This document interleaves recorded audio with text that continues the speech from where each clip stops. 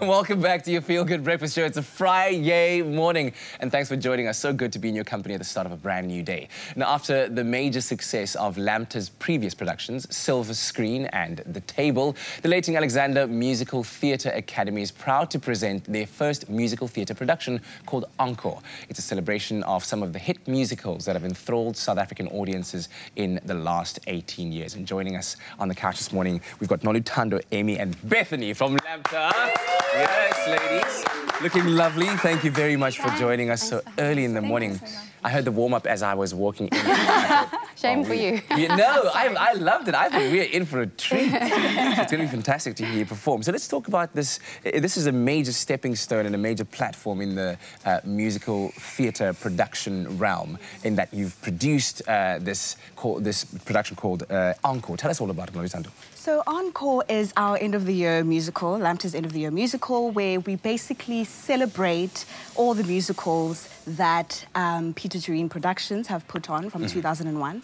Um, we, so what we do is that we perform a number from each musical Yes. uh, um, for the audiences to see, and it's really a lot of fun. Yeah.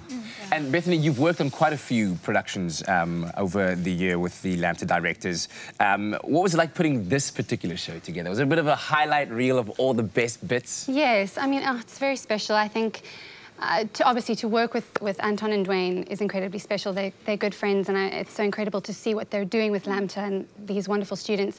But I think to also pay tribute to Mr. Pieter Toerien, who has you know, really provided South African audiences with, with so many musical memories all over the years. I mean, so everyone can come and relive those in, in this in this setting at this gorgeous theatre, Theatre on the Bay. Yeah, So it's really special, and um, and with these wonderful students, and it's not just your typical student production. This is it's something really special, and not just because there's a few professional.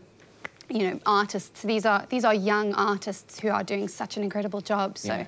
it's wonderful for South African audience. And young, very talented artists, Amy, and all of them trained triple threats, right? And that's a thing when, when you go around the musical theatre streets and somebody coins you and says you're a triple threat, that is a major thing. Why is that so important?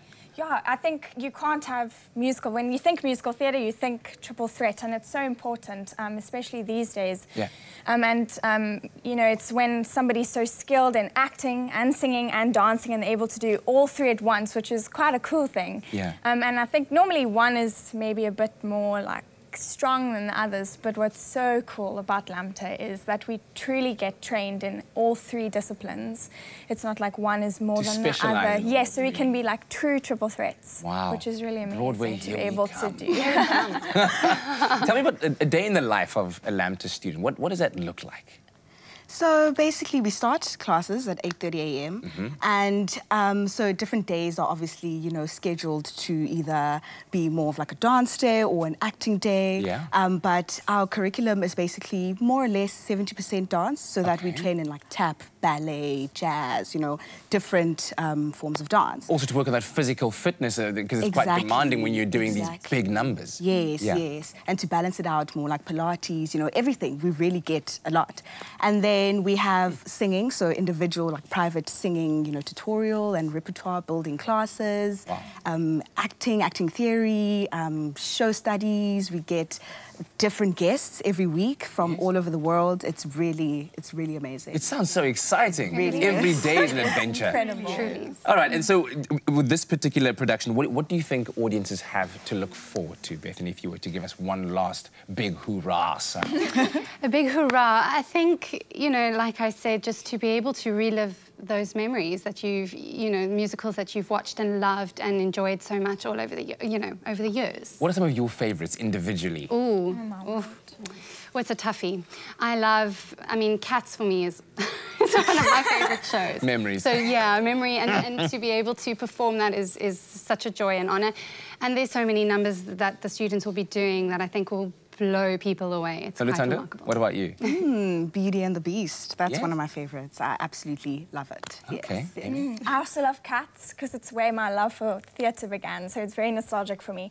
And I love um, the number from Jesus Christ Superstar as well. It's lots Yeah. of fun. Well, there you've had, you heard a little bit of a snippet of what you can expect. Cats, Jesus Christ Superstar, Beauty and the Beast, and so many more that have entertained South African audiences over the past 18 years. The show is on from the 27th of November until the 7th of December uh, at the Theatre on the Bay. It's called Encore, and tickets are available. Ladies, thank you for joining us. Thanks. Really Thank you looking so forward to having you perform this morning. Thank you.